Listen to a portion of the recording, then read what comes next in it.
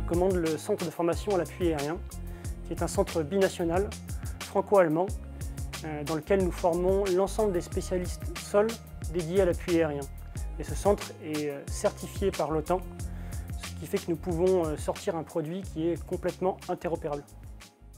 Très vite, en fait, au sortir de, la Seconde Guerre mondiale, eh bien, on s'est aperçu qu'il était impératif de, coordonner la manœuvre aérienne avec la manœuvre terrestre afin d'apporter un appui et la puissance de feu aérienne au plus proche du combattant au sol.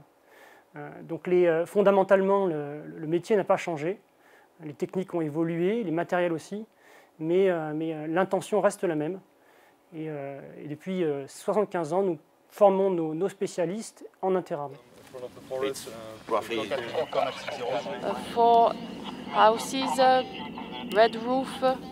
Au sein de l'armée de l'air, on qualifie essentiellement du personnel navigant, donc ça pourrait être l'Atlantique 2 pour la marine, Rafale pour l'armée de l'air, à titre d'exemple. Et ce sont des, euh, aéronefs qui, de par leur capteur et de par leur mission, euh, sont capables de fournir du renseignement euh, au personnel embarqué. Et quand cette personne est habilitée à être JTAC, il a la capacité d'être FAC airborne et donc de faire des guidages du dispositif au sol depuis l'avion. On a également des commandos de l'armée d'air, donc issus du corps des CPA, qui peuvent être qualifiés JTAC en vue de leur projection en opération. Et également, depuis peu, on est capable de former donc, des contrôleurs euh, de circulation aérienne, de défense aérienne, mais également des officiers renseignement. Il existe des procédures où on peut avoir un JTAC au sol et également un FAC airborne dans son avion pour multiplier entre guillemets les possibilités d'intervention au sol. Les premières parties pratiques sont très basiques, il reste à un seul endroit sans mouvement. Et quand on passe en phase advanced, ce que l'on demande, c'est être capable d'appréhender le scénario tactique en mouvement.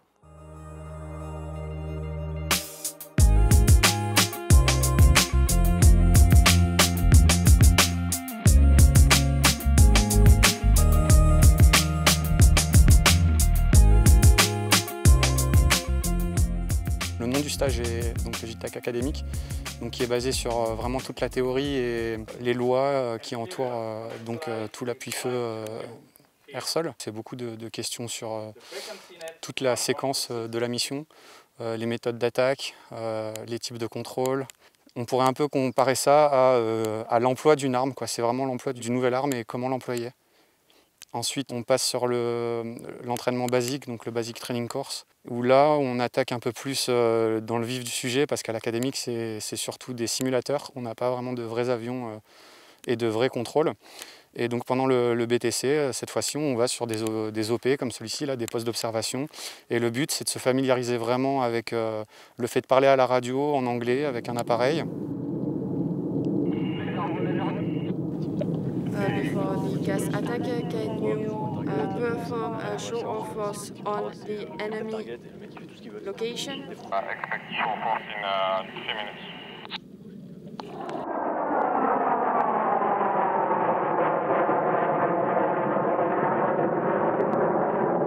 Et donc à la fin, sur la dernière partie du stage qui est en train de se dérouler en ce moment, donc l'Advanced Training Course, où les scénarios sont un peu plus compliqués, où on essaie d'être le plus réaliste possible, de penser à tout. Bah, cette fois-ci, on travaille en équipe. Et, euh, c'est assez intéressant de travailler avec euh, bah, notamment des Allemands. Moi, j'ai une très bonne équipe, là, j'ai deux binômes allemands. Euh, ils ont une vision des choses. j'ai la mienne. On essaie de mixer tout ça et, et ça se passe plutôt bien en fait. Copy CDE 5 with ordnance mitigated is approved. Did you copy that, Mika? Yep. Yeah. Suis projeté donc euh, juste à la fin du, stage là. Et euh, oui, l'idée c'est quand même de partir qualifié et de pouvoir ben, mettre en application plus ou moins vite euh, cette capacité. Au bout de huit semaines, on s'aperçoit qu'on a un vrai travail d'équipe, une vraie symbiose qui s'est créée au niveau de, tous nos candidats. C'est très encourageant pour la suite de leur carrière en tant que JTAC de voir qu'en peu de temps, ils ont su s'adapter, créer une cohésion interne interarmée et interalliée et d'être très efficace sur le terrain.